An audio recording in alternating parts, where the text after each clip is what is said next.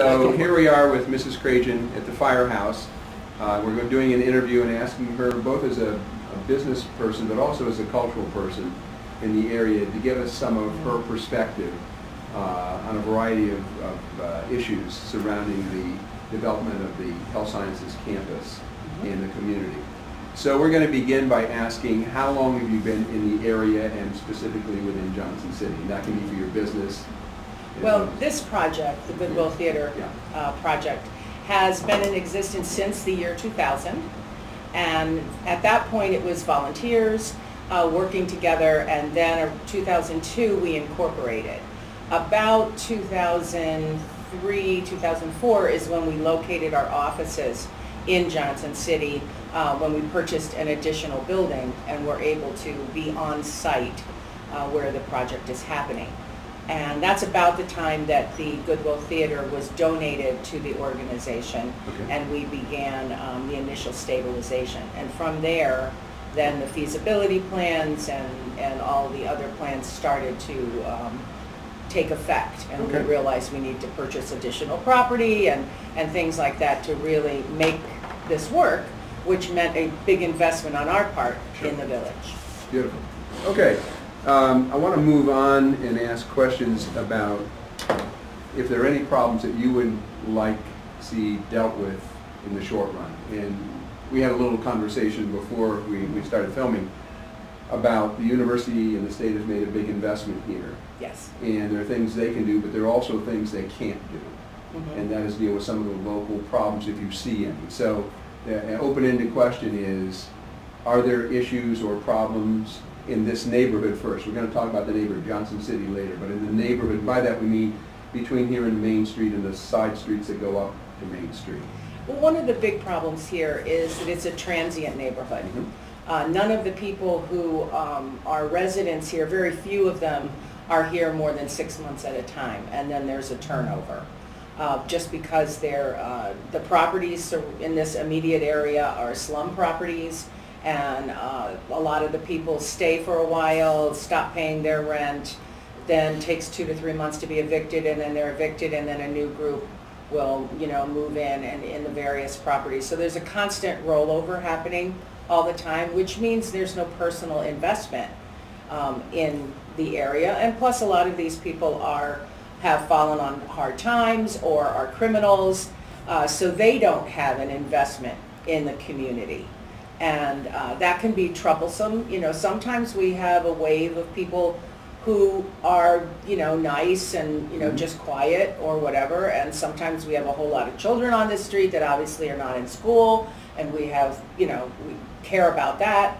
Um, and that's a safety issue too. Uh, and then sometimes we have a higher level of criminal uh, problems, uh, which was worse when we didn't um, own some of the properties next to us. We've now purchased some of them and we'll be tearing them down. But there was a high level, um, last two to three years of criminal activity immediately next door. And that's, um, that's scary. Yeah. So there's, there's that disinvestment by the residents. Um, and I do think this area is going to change to be a diff, very different form of residential community. And a lot of the residential uh, properties, I think, may switch over to commercial, obviously, and, you know, in a response to um, the university presence, but also to the presence of our facility because we are going to be, you know, an entertainment facility that's bringing a lot of people in, so there's opportunity for additional investment there. So the, the community will change drastically and needs to. Um, And so on one level, it's good that they're transient and not rooted because I don't think there'll be a huge fight about moving. Um, But at the same time, these people have to go somewhere and it would be nice if wherever they went, which probably should not be right next to retail, uh, but wherever they go is a drastic improvement to where, the type of places they've been living. So uh, I have heard that there is a, um, a group of people who would like to put in some um, low-income housing, um, but I'm not sure that the location, what location they're choosing. Uh, But I think there's definitely a need for uh, better quality, low-income housing um, in an appropriate place that, that fits into the neighborhood, but is not um, a deterrent uh, to um, moving the neighborhood forward. Yeah, just uh, information, I was curious about this myself, so I went to Sun- Sunrise is developing the big Mhm. structure. Yes. Mhm. And uh, on their website, they have a history of doing mixed housing. Right, and mixed housing and, and um, middle income and, and lower income in the affordable housing world is different than the Department of Social Services low income That's right, public person. housing Public housing. right, this So is- I used the wrong term, really. No, no, I was actually- using, public housing needs to Yeah. happen, just not by retail and not in the middle of, of some of the other, I don't mean to put it way, way I away and shun it, but it, that needs to happen in addition to the, the mixed and affordable Good. housing that's happening in the That- that's Regan very development, yeah. Okay, um, now one that maybe is easier, and that is the BU Health Sciences campus. Some people look at it very positively, others look at it and say, well, there's some issues. But let's start with the positive. What do you think is the most positive impact? Well, the, the most positive, in there's two, two really positive impacts. And one of them is simply a focus on Johnson City. Johnson City has been totally forgotten. Um, a lot of the investment from the state and the county was Binghamton-centric or Endicott-centric. And nobody was really paying attention to Johnson City, which falls under the town of Union, and so it just gets forgotten. Uh, So just um, having something located here, we're shining a light on this community that's in the direct center, that is the community surrounding the biggest employer, which is UHS, um, is, is critical. Number two, I think um, what's really wonderful is the fact that they are doing a uh, repurposing and rehabilitation of the one big factory.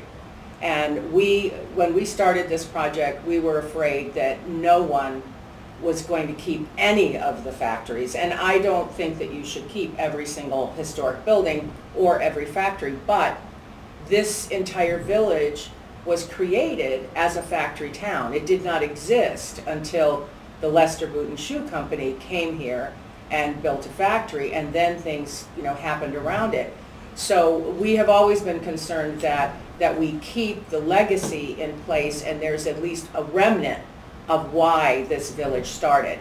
So the fact that they're going to be doing that um, beautiful old factory, um, and then now Regan is doing the really old factories that, you know, came in very early, um, that keeps our project in context, and it also, you know, states to the, um, to the person who's visiting, this is how this started. Now, where it goes in the future, that's, that's a whole nother dimension. But at least we, we have the legacy of the beginning of, of the village, and I think people want to know that and want to honor it. And that's why I said, we're gonna, we're going to develop a cultural element this too, Mhm. and we've had people suggest that to us, that it would be a Mhm. good idea. But I think, you know, there might be a threshold coming here too, where there are enough buildings that it's gonna bring people that wanna talk about the history of this area and the culture of this area. One of the things, uh, we created a health and cultural master plan, Mhm. And within that master plan, um, we identified um, a, a walking path that's like, um, I think it's one mile, and then there's an additional uh, second mile that goes up to CFJ Park. But we have noted where those historic stops are, Oh, nice. and they, those are places where we could have podcasts and things like that, and historic markers, um, if not mural imagery or, um, Could we who call knows? on you again in the future to tell us where some of this thing? Oh, yes. We could put that into the cultural. Yes, definitely. And we also made a national um, registered district. Um, And so we identified anything that had history. And we also did, um, the building that we have our offices in is the old EJ Medical Building. Mhm. Now, it's not a building that EJ built. Um, It was a billiard hall and a and a creamery. Um, But um, he then took it over and turned it into an infirmary, a dentist office, uh, you know, all those things when he took those things out of the original factory. So we're not saving that building because it's been modified so many times and it's not a good building and it's falling down around our ears. But we did document the story using some state resources. And the story of a, what I believe, and someone could research and it'd be a great master's thesis, um, is that I believe this was the first medical plan offered to workers in the country. And it was one that actually made money. So I think it's a very important story now.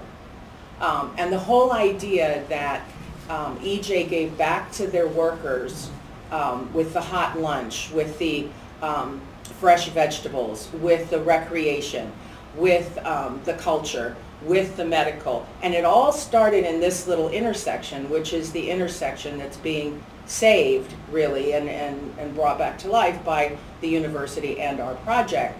So this is kind of the intersection where the idea of the person, uh, the employer and the employee working together and having this kind of balanced life of work, play, health, um, actually started. So I think it's really interesting that that's now where the university's located, where we've got our project located. So this can once again become that intersection of culture, economic development, and science. I think that's That's- incredible I gotta that tell that you why I'm come back. smiling is because with a couple of other people, we're putting in a federal proposal that's due in January to talk about trying to archive and create another one of these story maps about all of Mhm. this. This would be cultural and historical. You would be a great consultant if I can call on you. Oh, sure, I, I'm more than happy to, and I would also be able to identify who the consultants and local people are That'd be who ideal. are, who have the most reliable um, history and are the most forthcoming. I will be contacting you. Yes, Thank you because very they're much. still around and they know the stories. Well, this is why we want to capture some of this now, too. Yes, You know, it's- you're not going to capture it 20 years from now, True, true. Right. And uh, Mrs. Scanlon, okay? who is EJ's granddaughter, is no spring chicken. So you might want to talk to her sooner than later. Absolutely. Yeah. Okay, thank you. Now, shifting it to the other side, or do you have any concerns about the health sciences campus? Is there any downside in your mind? Well, one of, obviously, one of the things that it's also a need that I keep hearing a lot, because we've been here for 15 years and because I've been fairly vocal about the project, excuse me, and some of the needs of Johnson City um, before uh, the university um, decided to, to have this project. Um, Sometimes people come to me um, and express concerns or ask questions rather than go to the mayor's office. So, and we're here, we're visible, you know. Mhm. So um, I do keep hearing um, that there's parking pressure and there's obviously a, a huge need for parking. There's a parking need that the, you know, hospital has that they will take care of and they have funding streams to take care of it. The university has funding streams to take care of their own parking pressure. But the last thing the village needs is a lot of empty, isolated lots that, that cause crime. They're locations for crime at night. And I don't care how many lights you put on them and how many fences you put around them, um, these are not good. And it's very difficult for a small business owner to start a project in Johnson City because there is not enough parking for whatever business they want to do. There's a lot of little places on Main Street. Um, There's a lot of people who park in the Red Robin Diner Right. that are really going over to the Green Owl, and then there's all sorts of, you know, people getting angry, and, um, so there's, there is a drastic need for a parking ramp. There's probably a, a need for two, you know, one on either side of Main Street, in order to spur private development, and it's a chicken and egg thing. I don't know, you know, I don't think you'll get the businesses until you get the parking lot, and the parking lot, if it's done first, is gonna be half empty in the beginning. Yeah. So there's a, a huge need for some kind of solution to that. And, and um, Binghamton grew and now it's got a parking need and there's no more real estate to put it on. So it would be smart to designate those places. I would prefer that they occur where there's a high level of blight and crime, which to me is two for shoe polish, which is the way I'd like to spend my tax dollars. but I don't know, right now, there's a reluctance on the county and, um, obviously, the village doesn't have the money. Um, but the town, there should be some way that they can work with federal, um, dollars and create at least one so that there could be this critical mass in this area and prove that it's beneficial and then perhaps plan one. Um, but, uh, that, I just keep harking on that because I know, I hear from people who say, well, I'd love to put such and such there, but, you know, I, I won't get a yes from the planning board right now because, you know, there's not enough room. A facility like ours, a cultural facility, you want people to park a couple blocks away at a nice restaurant or something like that, or go to the shops before they come to us, or to go to those places after. But there needs to be some place that, you know, there needs to be that restaurant, there needs to be that shop, there needs to be that, you know, uh, pastry uh, place or ice cream place. Those places need to exist for people to want to park there or park near there to visit that, and they're not going to happen for uh, patrons of the Goodwill or for um, people visiting the pharmacy school or for students if there's no parking for those businesses. And those businesses do not have the money and there isn't real estate for them to buy a parking lot for each one. So the Need a park- plan. Yeah, the parking is, is, is huge and it's, it's really important, I think, to get out in front of it, which is costly and risky, but it's the right way to do it. So we'll see. Do you see a role for the university in this? I do, I mean, I have talked um, with the powers that be about um, the possibility, at least for my project, you know, we're an off-peak hour project because things don't start till seven or eight. Um, We do have programming, you know, during the day on the weekends, and we will be a teaching facility during the day, but, but still, the main parking pressure is, is at night for our facility, which is when other people's die down until the restaurants become a hot scene, which will happen.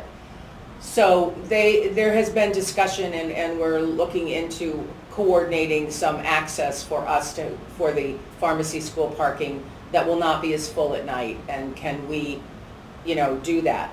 I think the university is more apt to give us um, that kind of reciprocal agreement, but they're not gonna do it for twenty little mom and pops. No, no, no. So there's, that parking issue still remains for us, for it to spur the type of development that you want to have happen.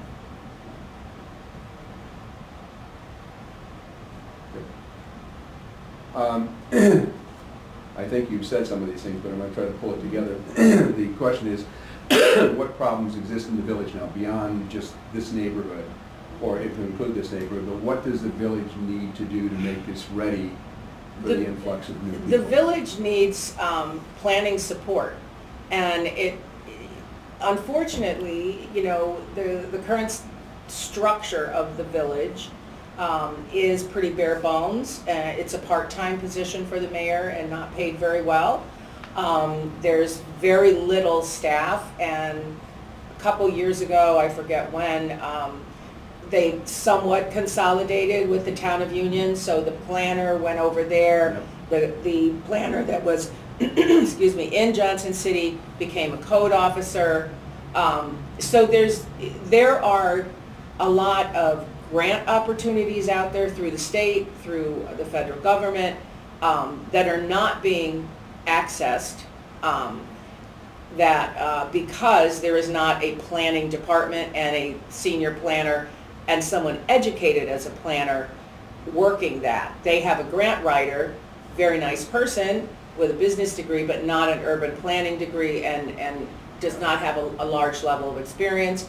The county is, you know, is very busy with the city of Binghamton and county, overall county plans, but focusing on the incredible opportunity here, there's no staff. And there's, and so, you know, you can't get all that angry about it when there's, you know, there's only three people that are supposed to be doing the jobs that, where there used to be eight. You know, so, you know, there's no one on site in Johnson City as a planner looking at everything on a day-to-day basis. So there needs, that needs to happen. Um, Or there needs to be more coordination with the town of Union, and there has to be a realization from the town of Union that they need to dedicate more resources uh, to make sure that planning occurs. Um, There's all this, lots of um, fractured activities. You know, that was what we were hoping the master plan would take care of, but then it, it, there, nobody could decide who would implement it or implement which pieces of it. So what's occurring is duplication of effort. Um, you know, the university's trying to be a good citizen and do what it's doing. We're trying to do what we're doing and a little extra, and everybody's little extra eh, may be, you know, replication. And we don't have enough time or dollars for replication. We need Sure. to, to have somebody pulling it together. Yeah, somebody to coordinate the. Right, and that would normally be village government, but it can't be in this instance because of the structure of the situation. Um, and there does not, at this point, seem to be an impetus from the town of Union to take on that role. Okay, very good. Um, Now I'm gonna ask you, I said this earlier about a scale. Did they of- warn you that I have long-winded answers? No, but I don't, I don't think they're long-winded, they're very informative, so, Okay. yeah.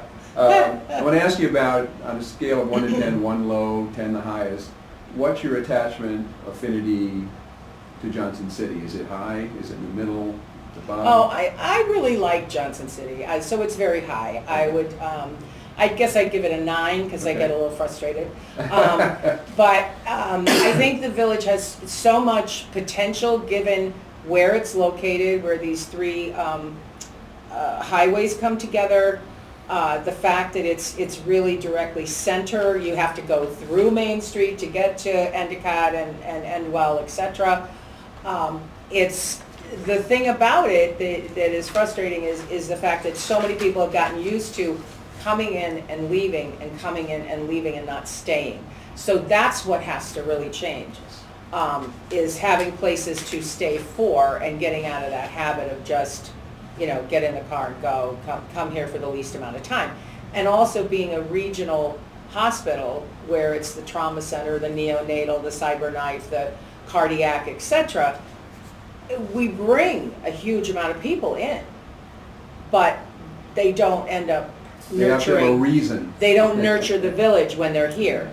And so there's the danger of that also happening uh, with the, uh, with the college. So, uh, but I think this village is also human scale. It's, it- the architecture is funky, the architecture is cozy. So there has, I have known of the county needing um, a 24/7 funky space for the last 20 years. And they have been, when will we find that little area, that little pocket of Broome County that can be cool and can be 24/7? I don't think it can be the city of Binghamton because it's got so many government offices and law firms and things like that that roll up at 4:30. So this area being the one that could be that. You've got a 24/7 R and D facility coming in here. The arts are pretty much 24/7 because most of what we do is at night. And artists create whenever they feel like it or whenever the urge strikes. And then you've got a, you know, a huge hospital that's 24/7. The Walmart's 24/7, the Press and Sun over there is, the Gannett facility's 24/7. You have some critical mass for 24/7 to occur that you don't have anywhere else. And that's one of the reasons I think this is such, such an opportunity for a different kind of business and a different kind of activity. I think of like Rice Village in, in Houston that's near Rice University. It's its own little pocket within the larger community. I think this potential is here. Great, thank you. One last question, and that is, um, do you think, given all the potential, you'll have to alter your business plan in any way? in the near Well, we, actually, we already have. Um, We were originally going to be a, um, purely a uh, performance entity, a four-stage performance entity with a training academy for mostly backstage. Um, And then with the advent of the um, university being so close by and then the growth of, of what the university planned to do, we realized that um, we needed to add the ability to be a, a conference center to our project. So we have changed some of the uh, the ways the rooms are organized in the center connecting building, and um, making sure that there's more um, conference support uh, facilities put into the plan with more catering options. Uh, So we, we realize that we can um, have, you know, small symposium, seminar, things like that, that we could be that support um, for the university on occasion when it's needed, and then realize we could be the same for the hospital. So, you know, when we have, you know, auditoriums that can hold 300 people, 200 people, and large rooms that can hold um, additional breakouts and things like that, and then the 850 seat space, that's a lot of support for, uh, you know, a conference center that could be right across the street. So that's been our response. That's very encouraging. Okay.